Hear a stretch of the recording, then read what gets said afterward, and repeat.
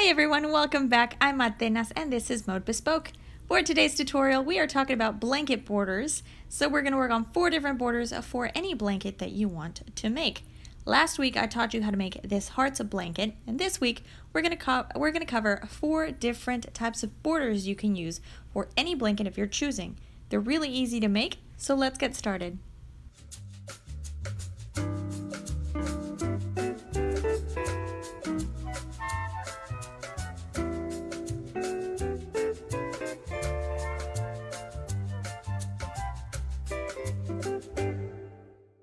Is our mini blanket we're going to be working with. I normally like to start my borders on the second to last stitch. You can start wherever you prefer. You don't have to start here. This is just where I prefer to start my crocheting. Now for any blanket, I would recommend that when you use, uh, when you make your border, you use the same hook that you used for the blanket itself because Otherwise, you'll have to adjust for sizing. So if you use a wider hook or a narrower hook, you're going to have to adjust a little bit. Um, and that requires a little bit more practice with crochet. So if you're a beginner, just use your same hook. Now to get started, we're going to insert our hook into the stitch you chose. Any stitch along the border is fine. So just pick a stitch, insert your hook, and now get the yarn you're going to use for your border. I'm going to use this blue one, so I'm just going to loop it around my hook and I'm going to leave a nice long tail of yarn which we'll weave in later. Now pull the blue loop through your blanket. And now we're going to chain one, and we're going to chain using both threads of yarn. So wrap the yarn around your hook and chain one. Now we're just going to drop this little tail end of yarn. And for this first border, we're going to work a series of single crochets. So it is the simplest border you can use. And I typically use this border probably about like 80% of my blankets because it's really nice, it's really simple, and it looks great. So beginning in this corner stitch, you're going to crochet four single crochets into that same corner stitch. So if you hold your yarn just over the work that you're working on, you'll be able to hide the tail end.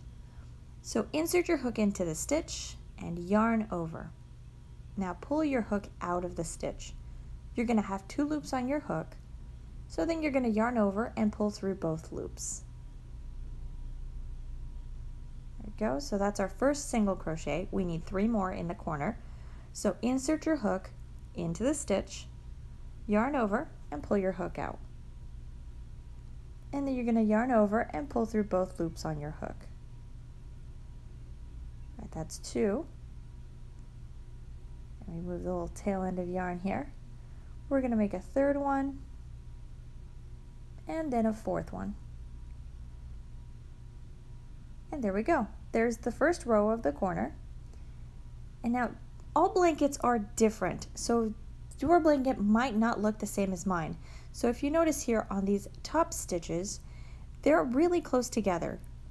So all of these stitches are nice and neat. And the ones here along the edge are not. So here on along the side, they're wider because they're all double crochets. So they're not as neat as the top ones. Depending on the stitch that you used for your blanket, you will have to adjust the number of stitches you crochet along like the edges of the blanket. So for this one, see I've got these big spaces. So in this big space, I'm just going to crochet one single crochet. There we go. If this space would have been bigger, I would have done two. Uh, but then I have this little stitch right here. So in that chain space, I'm just going to make another single crochet. And then we have this side right over here, which is also a bigger stitch. But if you notice, these stitches are really close together. So I can make a single crochet in each one of them, and they're going to be evenly spaced. The goal when you're making this first row of single crochets, which is what I normally use in all of my blankets, my first um, round will be in single crochets, just so that I can work with the spacing a little better. I try to place all of my stitches close together and space them out as evenly as possible. So in these next few stitches, they're a little bit different because I used a different stitch here. So I'm going to do two single crochets in the one big stitch. And then in this tiny one, see it's kind of small and the other part of it is a little bit lower. So I'm just going to work another single crochet into that big stitch. So see, we've got these two right here, and then I'm going to skip this space because see it's a little bit lower than the other stitches. So I'm just going to skip it, and I'm going to go into the next stitch. See, and that one was kind of small too. So I'm going to go into here, and then I'm just going to crochet another single crochet, then single crochet, and then another single crochet. So really, it just depends on your blanket. The goal is just to place your stitches as close together as possible for this first round. In subsequent rounds, it gets a lot easier because since you've already done all the work, this round, all the other ones will be really easy because you'll have really marked out stitches that you can use. So I'll work a couple more here. If you have, see I'll hold this out a bit, if you make too many stitches along the edge, it's going to start to get wavy. If your work starts to get wavy, you're going to have to undo the work and make sure that you remove some of the stitches because you added too many. Now, the opposite problem can occur. So if you don't make enough stitches, because you know the spacing was too wide or anything, it's going to pull your work in. So it's going to scrunch it up. That means you don't have enough stitches. So you're going to have to remove all of your stitches and add a few more stitches wherever you find the space. So I'll keep working on this last bit until I get to the next corner and then I'll see you guys again in a minute. Alright, I've reached corner number two and this is what it looks like. Yours might look a little different depending on whatever stitch you used for the blanket you've made. But just like we did in the first corner, I'm going to crochet four single crochets into that same stitch. So here's one, two, three, and four. And now the corner is done. Now I'm just going to crochet a single crochet in every one of the next stitches until I reach the next corner. Now you're going to notice that two sides of your blanket are always going to be easier because you'll be able to see the stitches. So here you can see the stitch and here you can see the stitch and there we go. So I've worked all the way to the end and we've made it all the way around. I'm working my last two single crochets and we're going to close the round. You're going to do this every time you get around. So this little bottom one doesn't count. So here's our chain one that we did at the beginning. You're going to look for your very first stitch, which is this one. So find your very first single crochet, which is this one right here. The stitch right above it is where you're going to insert your hook. So insert your hook into that stitch, yarn over, pull your hook out, and then we're going to slip stitch. So you're going to pull the first loop in through the second loop. And there we go. That's a slip stitch. That's how you're going to close every round. So now, working a single crochet into the next stitch, I'm going to chain one, and then we're going to go to the next available stitch, single crochet, and now we're at the corner. So in the corner stitch on this round, you're going to make three double or single crochets. I don't know why I'm saying double. You're going to make three single crochets into the corner stitch. So there's one, two, and three. So there's our corner. And now I'm just going to work a couple more single crochets here. So we're going to alternate when you're working a single crochet border. So here, I just worked a few more stitches so that I can show you round number three so once we've gone all the way around again, we've slip stitched, now we're going to crochet two stitches into the two corner stitches. So in this round we need four single crochets. So in the first of the two corner stitches we make two single crochets and in the second stitch we make two single crochets.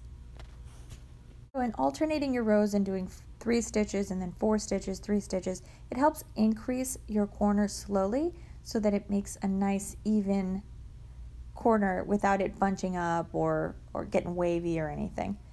So you're going to do this every time you do a single crochet border. So you do four in the first round, three in the next, then four, three, four. So to show you a little bit better here, I'm going to grab this other corner. So in round number two, you're going to pick the cornermost stitch you're going to make three single crochets. In the next round, you're going to pick the two corner ones. You're going to do two single crochets in the first stitch and two single crochets in the next stitch. And then we'll leave you with really nice little corners. So let me undo all of this and I'm going to teach you a second stitch you can use. So let me get all set up. So for this next stitch, we're going to be using a half double crochet. And I'm not going to remove all of these single crochets because I would have made another round of single crochets anyway. So I'm just going to leave this. So we're going to start with a chain one. So let me move all of this out of the way so you can see a little bit better. So we're going to chain one and we're ready to start.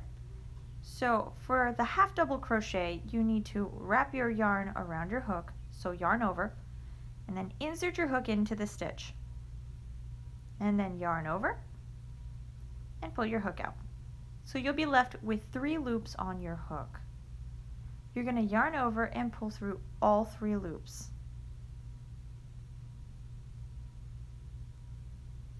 So there we go. Now this stitch is a really thick stitch, so it's not as small as a single crochet. So for the corners, you're only going to do three. So instead of doing four, three, four, three, no, you're going to work just three half double crochets in every round. Otherwise, you'll have way too many stitches and it'll get really, really bulky and wavy. So in the corner stitch, we're going to make three half double crochets. So yarn over, and then I'm going to insert the hook into the stitch, yarn over, and close out my stitch. So we're going to do two more because we need a total of three. And if you didn't quite get how to make a half double crochet, don't worry, I'll show you again here in just a moment. So here's the corner. So now, to do this a little more slowly again, we're going to yarn over, insert your hook into the stitch, yarn over, pull your hook out of the stitch. You'll have three loops on your hook, and then you just yarn over and pull through all three. And that is a half double crochet. So I'll work a few more of these. See, I'm working this one slowly. Go yarn over and we pull through three. So I'll work a few more of these stitches and I'll just make a few rows so that you can see what this stitch will look like if you make, if you use this for a border. Before I leave you though, just remember that when you work your way completely around to the other side, remember to skip this little bottom stitch and work your first, or I guess your slip stitch, into the first stitch of the row. So work a slip stitch, chain one, and then you can continue working around. So after a few rows, this is what your border would look like. So as you can see, it's got these nice little vertical lines going through. So there's this one and then the one on top. Here's the back. Now these little lines are repeated every two rows. So you'll have another one up here at the top. So you have two rows and then a line and then two rows and then another line. So our next stitch, you're going to start with a chain one. And this is going to be similar to the half double crochet we just did. So we're going to need to chain one, and we're going to go into the next stitch. So for this stitch, you're going to insert your hook into the stitch, yarn over, and pull your hook out. You're going to yarn over and pull through the first loop only. So pull through one. You'll have two loops left on your hook. You're going to yarn over and pull through the two remaining loops. So the corner, because this stitch is um, it's not as thick as a half double crochet, we're going to work the four stitches in the corner, then three, and then four. So for this round, we're going to need to make three, uh, this is the herringbone stitch, so three herringbone stitches in the corner. So if you know this by any other name, let me know, but I know this stitch is a herringbone stitch, so I'm going to finish this one then yarn over, pull through two loops, and then we'll do this again slowly. So you're going to insert your hook into the stitch, pull up a loop, you're going to yarn over and pull through one loop, and then yarn over and pull through, through the two remaining loops on your hook. So I'll do one more here in the corner, insert hook, pull up a loop, yarn over, pull through one, yarn over, pull through two. So it's almost like an extended single crochet. So it's right in between the half double crochet and double crochet if you want to look at it that way. So I'll keep working a few more stitches and then I'll show you what this stitch looks like. Just remember that the corners you're going to work these as four, three, four, and so forth. So here is how this stitch will look after you've worked a couple of rows.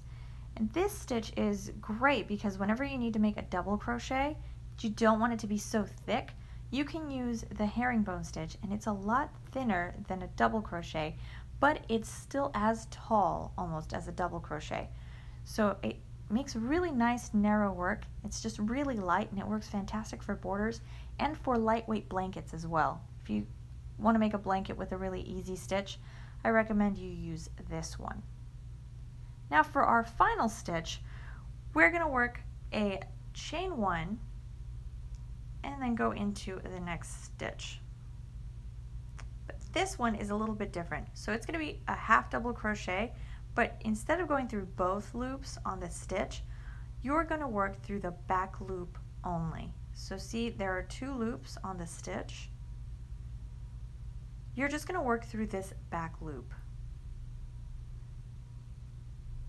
So let me get all set up. All right, we chain one, and then we start with our half double crochet. So yarn over, and then insert your hook into the back loop so you can insert your hook this way, or you can do what I do, and I prefer to use the hook, and I just kind of grab the loop and then push my, my hook through. Then you yarn over, pull up a loop, you have three loops on your hook, and yarn over, pull through all three. So this is just a half double crochet that you work in the back loop. So we're going to do the three in the corner. This one is as thick as a half double crochet because it is a half double crochet. So the corners, you're going to work three half double crochets in every round. So don't do four, three, four, no, just work three half double crochets in every stitch, uh, in every corner, sorry, so that you don't have a really bulky corner. So here, just like I made this one, we're going to go into the next one. So I'm going to wrap my yarn around my hook, insert my hook through the back loop, and then I'm going to yarn over, pull up a loop, and then yarn over, pull through all three loops. And that's one. We're going to make a second half double crochet, that's two, and then three. And we'll do this in every corner in every round. So I'll move on to the next stitch and working in the back loop only, I'm going to insert my hook and then just yarn over and pull through the three loops on my hook. So I'll work a few more stitches and then I'll make a few rows so that you can see what this stitch is going to look like if you were to use it for a border. There you have it. So this is what the half double crochet back loop only looks like. So here's one side and the other. And it's just a really quick and easy stitch that you can use on any blanket. So hopefully you've enjoyed this video tutorial. If you have any questions or comments, leave them down in the comments section below. Go check out the blog if you haven't checked it out already. I post free patterns up on there. You can also purchase PDF copies and online copies of any of the patterns that I have on the blog. If you haven't subscribed yet, hit that subscribe button. I post videos every Thursday. Follow me on Instagram to get a sneak peek at all of the projects we're going to be working on here on YouTube. And thank you so much for watching. Don't forget to like and share the video, and I'll see you all again next Thursday.